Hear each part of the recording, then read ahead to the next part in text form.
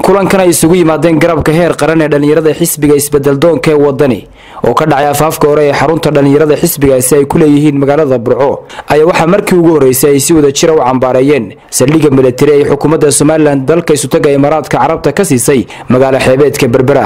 Gudoomiyaha garabka dhallinyarada heer qaran ee xisbigaasi maxamed sidiiq dhamme iyo xogayaha dhallinyarada heer qaran aftax oo iyagu halkaasi ka hadlay ayaa si adag u cambaareeyey saldhiggaasi milatari oo ay sheegeen inaanay dan u ahayn guud ahaanba qaranka somalilan. Somalilan fariin fariintaasi oo ah xukuumaddii xisbiga kulmiye ee aad doorateen waxay noqotay xukaamad dilaal dalkii somalilanna waxaa ka dhigtay saylad ciddii timaadaaba loo goynayo inteeda ama khayraad ha noqoto ama qarannimadiiba ha noqoto ama dhul iyo ciid dhankay tahayba. Xukuumaddii aad doorateen waxaa isugu soo hadhay afar qof oo maafiya oo halka ay ka helayaan manfac iyo halka ay ka helayaan lacag iyo halka ay ka helayaan xoolo somalilan ku gowracaya oo waxa weeye ku furaayoo dhigaya. Somalilanteenu doonaynaa waa somalilan sharaf leh waa somalilan cadaalad xorriyad iyo ay ka shaqaynayso midnimo iyo jiritaankeeda iyo qadiyaddeeda oo la adkeeya. Qarankan waxa lagu waraabiyey dhiig halka uu marayana ragga marinaya ee hoojinayana kama yeelayno umana dulqaadanayno. Arrinka military baska ee xukuumaddu ay gudinaysaa marageedii xamar baa laga furay inuu xasan sheekh saxeexay.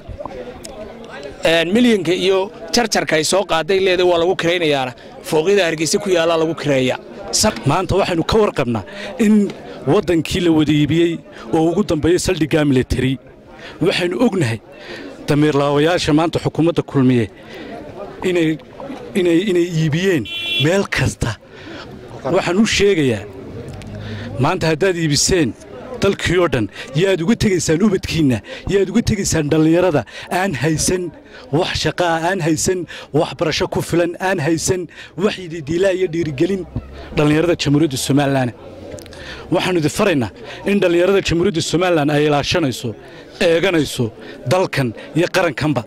Geesta kale gudoomiyaha dhallinyarada xisbiga wadani ee gobolka togdheer maxamed cali suudi iyo gudoomiye ku-xigeenka cabdirisaaq sugaal jibriil oo iyaguna ka turjumayay dhallinyarada ku abtirsatay xisbiga wadani ee gobolka togdheer ayaa dhankooda ka hadlay saldhigga milatari oo ay sheegeen inuu hadimo ku yahay bulshada reer somalilan eegaysa ka dhacay baynu ognahay waxaan leenahay haddaanu nahay dhallinyarta xisbiga wadani ee gobolka togdheer annagu ma ogolin ciidamo shisheeye oo la keeno dalka waayo waxaanu ognahay dunida dalalkii ciidamada shisheeye keensaday in ay masiiba ku dhacday. Waxaa dhici doonta dhallinyaradan mustaqbalkeeda inuu mijaro habaabo nabadda iyo nabadgelyada aynu ku naaloonaynaa inay meesha ka baxdo.